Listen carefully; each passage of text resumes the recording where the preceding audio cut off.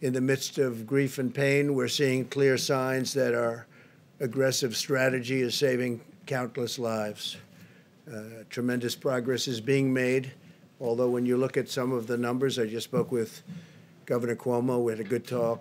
When you look at those numbers, uh, the numbers of death, people that have died, uh, it's so uh, horrible now, on the other side, you have the numbers of beds being used, we are just saying, are substantially reduced. That's usually the sign that it's heading in the downward curve. Uh, so, New York, we know where that is. But in the midst of all this grief and this pain, we're seeing these signs, and we're seeing them very strongly.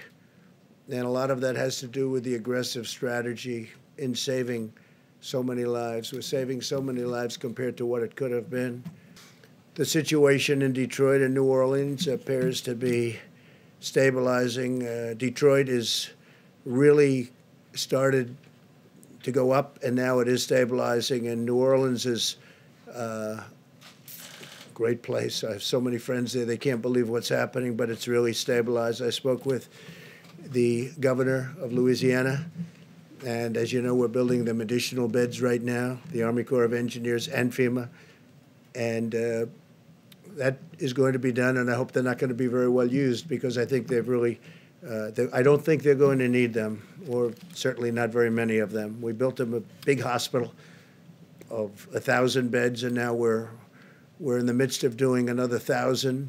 I don't think they're going to be using very many of them, and that's a good thing. There was a time two weeks ago when we said that's not going to be nearly enough. We're going to have to build more, but we wanted to wait to see, and I'm glad we waited.